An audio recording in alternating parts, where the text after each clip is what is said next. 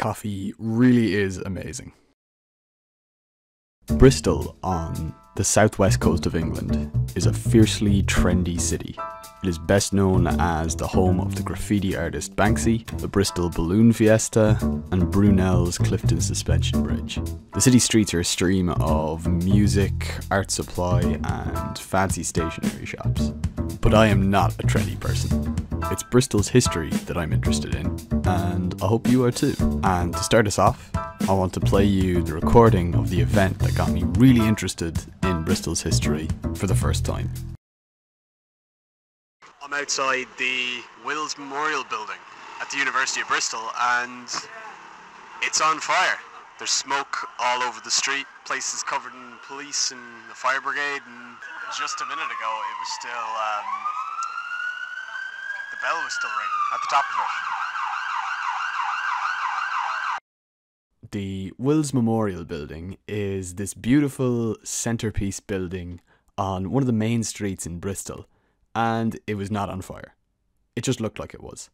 What was actually on fire was the School of Maths behind it, called the Fry Building. Now, if you know your Bristol or your British chocolate well, you might be able to guess that the building is named after the Fry family and company.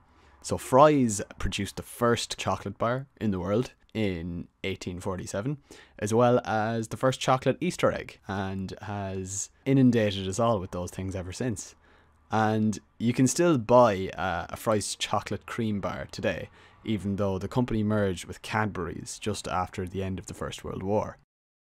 Okay, so I have a Fry's chocolate cream in my hands. I hunted one down for the sake of this show.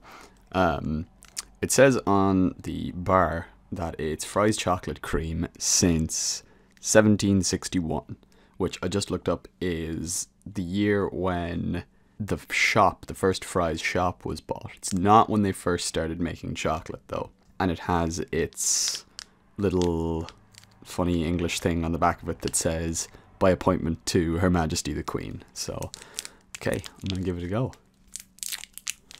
This is me opening this bar. Okay, well, hmm, I don't know. It doesn't taste like all that much, really. It's like sort of dark chocolate that's vaguely sweet, but um, yeah, I don't know about that filling. It has this kind of what do they call it? They call it a smooth fondant center, but it's just kind of like white goo. Mm, I don't know. I don't think I'm a big fan of this bar. Mm, no. I do not like that. No. Remove the goo is all I can say. Sorry, Fry's. Now, like a lot of buildings in Bristol, the Wills Memorial Building was funded, at least in part, by slave money. Henry Overton Wills III, a pompous name, after whom the building is named, uh, was the first Chancellor of the University of Bristol, and his family wealth came from the tobacco industry. Now, in the 18th and 19th century, where there was tobacco, there were thousands of slaves who harvested it. Bristolians are all too aware that their picturesque seaside English city doesn't just have a wussy, indirect kind of connection to the slave trade. It wasn't just that Bristolians bought and sold slave harvested tobacco, but that when a monopoly that had existed on slave trading and that was held by London's Royal African Company ended at the end of the 17th century, Bristol's merchants dove into that trade more enthusiastically than any other city, and for a time, they made Bristol the most prominent slave city in Britain, even surpassing London's investment in that horrific trade. Some historians have found evidence that Bristol's involvement goes back much further, having been conducted illegally, although the notion of illegal slave trading seems slightly offensive in suggesting that there is such a thing as legitimate slave trading. As early as 1655, 43 years before it became legal to transport slaves through ports outside of London, a letter was written in Barbados by a Samuel Drew, stating that he was willing to release a slave on the condition that he be provided a substitute slave by none other than Bristol's Vice Admiral William Penn, father of the William Penn who would have the US state of Pennsylvania named after him. And slave trading at this time may not have been confined to such personal trade. Interlopers, smaller trading vessels that anchored off more remote parts of the African coast, kind of slave pirates really, undercut the Royal African Company's trade. It is hard to estimate exactly how much involvement Bristol's merchants had in this kind of slave trade. However, the city of Speightstown, situated in an area of Barbados where illicit slave trading was rampant, was colloquially known as Little Bristol.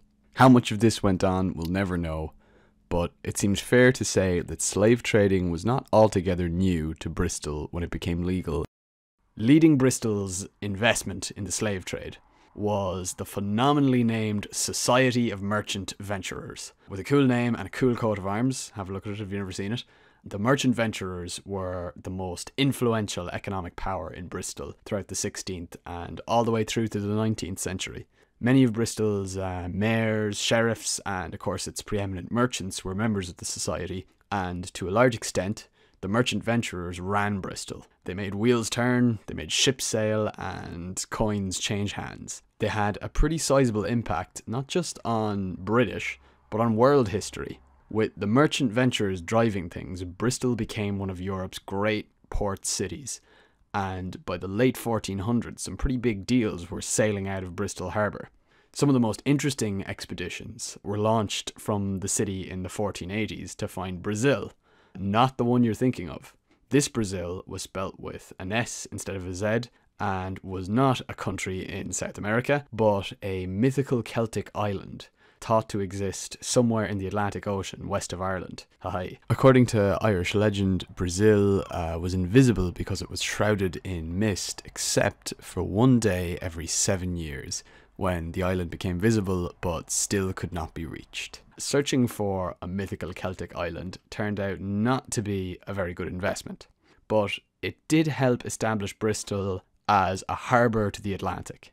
Now, with a lot of thanks to the merchant venturers, by the end of the 15th century, Bristol had become famous enough as a port city to attract a Venetian explorer named uh, John Cabot. Now, like his grander contemporary Christopher Columbus, Cabot had left Italy to find investors for Atlantic expeditions abroad, and while Columbus lobbied in Lisbon and Madrid, Cabot set his hopes on Bristol. So Cabot wanted to explore the uncharted lands to the west and to find a western passage to China and the Far East.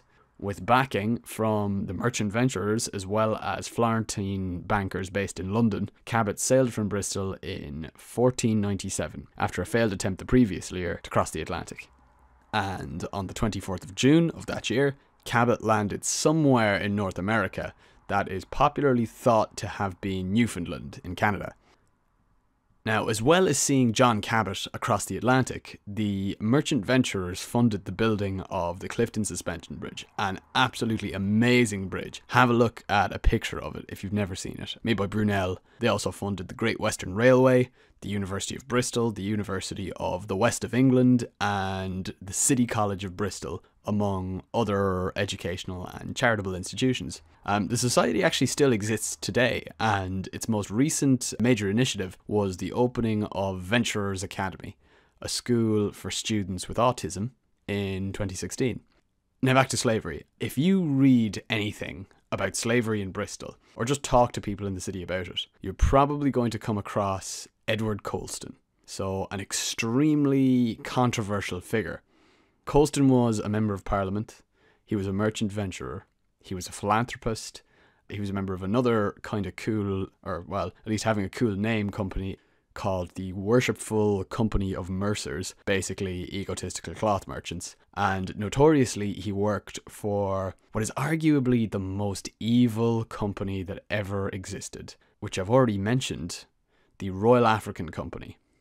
Slavers on a side note while I'm having my lunch of coffee and Toblerone, and I don't know if you can hear the rain beating off the roof of my Bristol apartment. Um, I hope not. But there's one other thing I wanted to mention about the Royal African Company that apparently the reason they lost their monopoly on slave trading was because an admiral that worked for the company named Robert Holmes attacked Dutch trading posts that were competing with the company along the African coast. This plunged England into a war with the Netherlands that the English would eventually lose and put the Royal African Company into crippling debt. Not that anyone is going to feel sorry for them.